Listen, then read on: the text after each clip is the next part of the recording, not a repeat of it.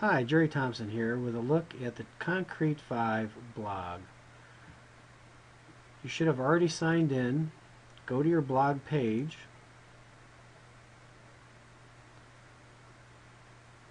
And the blog consists of three parts. You have the summary page, which is this page where you see all the little short teasers to get you to click and see if you want to look at the rest of the blog or the article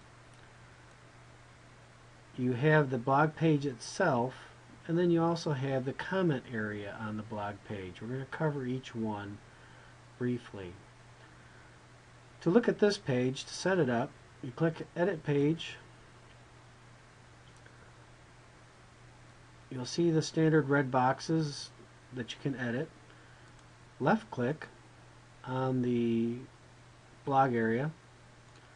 Click Edit and you'll see the edit page list. Here you can display the number of summaries you want on this page. Uh, most of the rest of it you can pretty much leave alone. However, you might want to dictate where the information is being pulled from. Now, if you only have one blog on your website, then it's really not much of a problem. But if you do have multiple blogs, and if you want to keep things separate, then you might want to specify beneath this page or beneath another page. If you click beneath another page, you will be given an opportunity to select the page that you want it to be under. But for this blog, we're going to say beneath this page. We're going to choose the order, and here are your choices. Sitemap order, most recent first, earliest first, alphabetical, or reverse of alphabetical. And for our purposes here, I'm just going to pick the most recent first. Do you want to provide an RSS feed?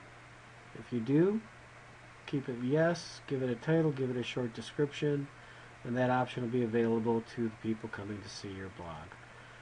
If you don't want to do that, then check no and they won't see anything.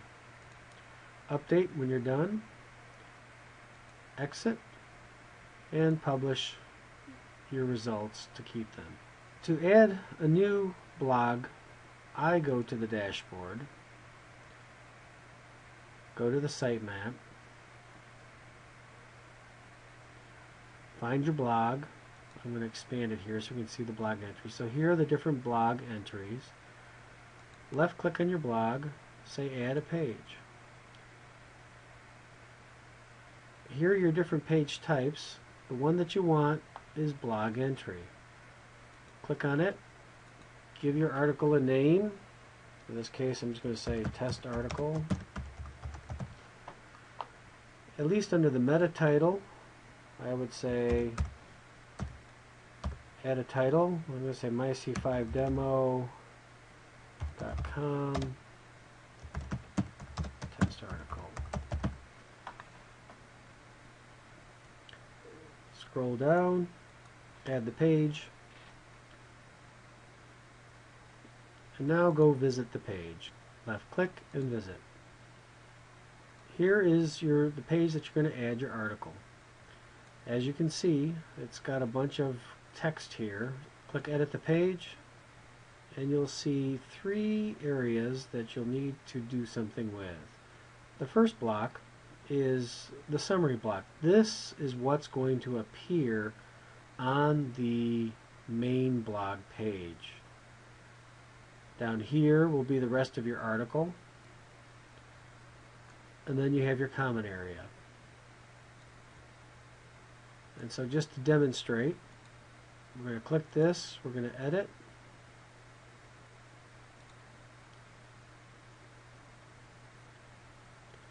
I'm going to delete all this text.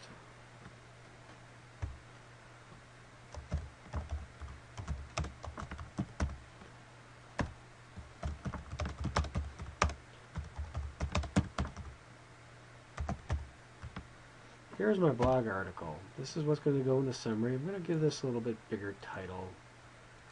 And I'm going to bold it. And I'm going to say update. Next, go to the lower section. Get rid of all that stuff there.